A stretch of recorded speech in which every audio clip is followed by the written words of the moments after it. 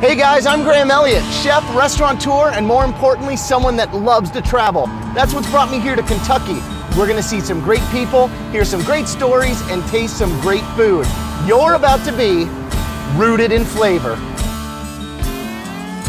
Nestled in the heart of Kentucky, Simpsonville was always an important stop along the stagecoach route. Clearly, folks here know how to care for travelers and feed them well. Nowadays, it's not just a layover, it's a destination with tons to explore. Fortunately, my buddy, Chef David Danielson, is a great storyteller. All right, man, so this is the beginning of the stack cake. We've baked five different layers. Okay. And what we're gonna do is kind of layer this up. Mm-hmm. In Appalachia, Eastern Kentucky, when. Right. people would have weddings, special, special gatherings, each family member would make a layer of the cake and they would bring it together and then uh, they would assemble it, right? Yeah, I can almost see that, right? I mean, when you're talking about food, family, bringing everyone together, this dish really symbolizes that. All right, so show me how we plate this thing. All right, we got some cinnamon, obviously goes with it.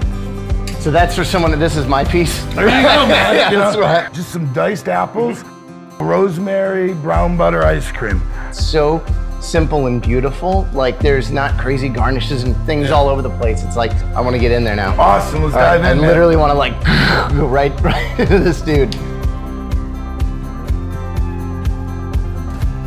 Oh my God, cannot believe how moist it is. That's amazing. And that jam in the middle, it's got so much acidity. It's tart, it's bright, Yeah. like cuts through the sweetness. And that ice cream, it's almost the opposite, right? It's like yin and yang. It's rich, it's buttery. I mean, this is a winner. Awesome, man. Well, thank Cool. you so much All right. for coming out today. I'm bringing that with me. Cool. We'll wrap it up. you. Thanks. Yeah. Good to see.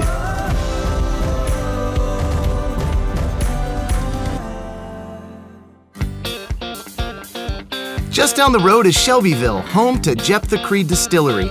Here, a sixth generation Kentucky family is reinventing the distillery experience with throwback moonshine inspired by the farm.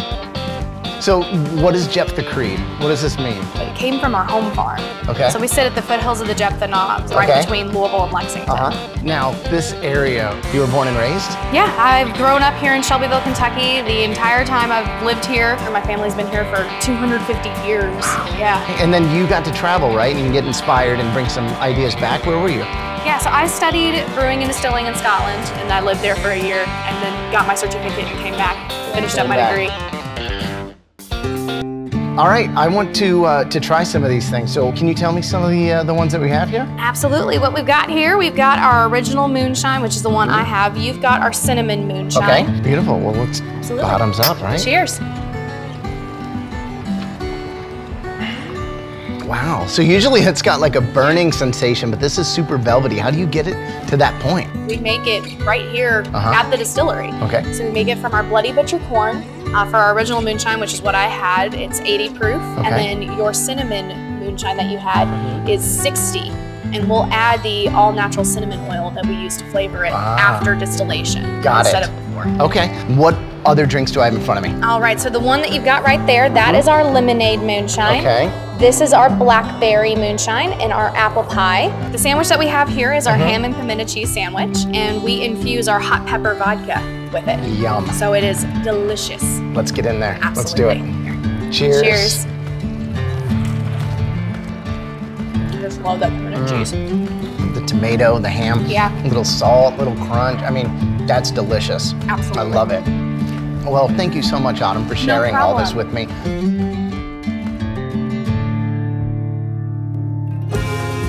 Whether you're riding through the back roads or looking for a great meal, Cheers. Kentucky has something for everyone. Here you'll find rich history, friendly folks, and delicious eats.